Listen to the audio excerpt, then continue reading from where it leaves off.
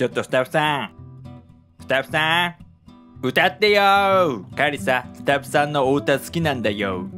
なあ早く歌ってくれよ。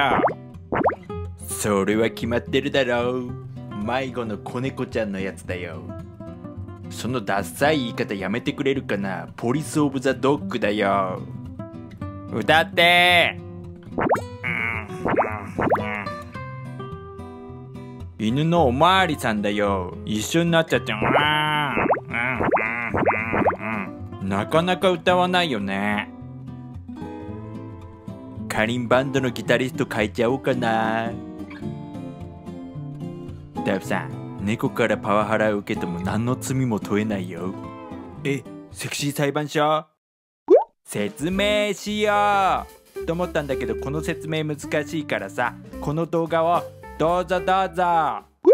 俺この野郎怖い。怖いじゃないよ被害者ぶって。彼何もしてないのに首噛んでくるんだから。あらそう。うん、うん。スタッフさん取れたよね。何が取れただこの野郎。ああやだ怖い。蹴っ飛ばされちゃう。今ね撮影してるのえね。えスタッフさん？くそお前たちグルだったのか。暴力は撮影しとかなきゃね。はめたなこの野郎。あとは裁判所で。なんて裁判所だよ。セクシー裁判所。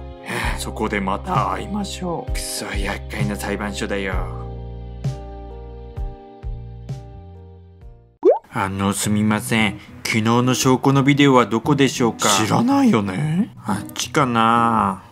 でもなこの辺りにあるような匂いがおぷんぷんするんだよな。ねえちゃいちゃん。ちゃーに言われても困るよね。狩りが悪かったよ。うん。思ってもいないくせに。思ってるよ。そしてデブネコ裁判所だけはご勘弁だよ。セクシー裁判所です。もう失礼しちゃう。うん。かりんちゃんは知らない今チャイのこのパーフェクトスレンダーバディの下にビデオが隠されていることを。うーん。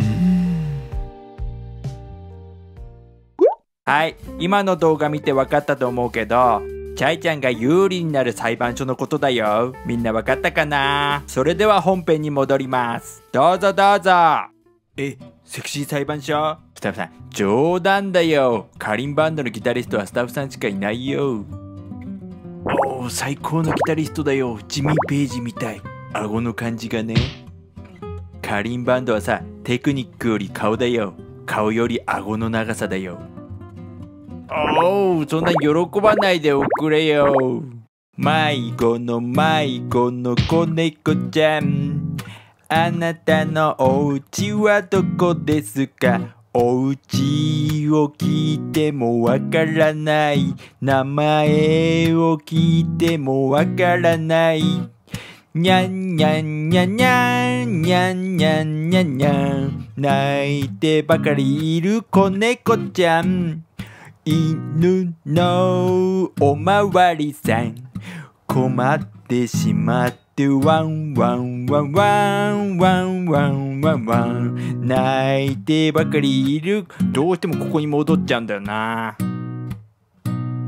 もしこの動画が良かったらグッドボタン。そしてチャンネル登録もよろしくだよね。わーい。あ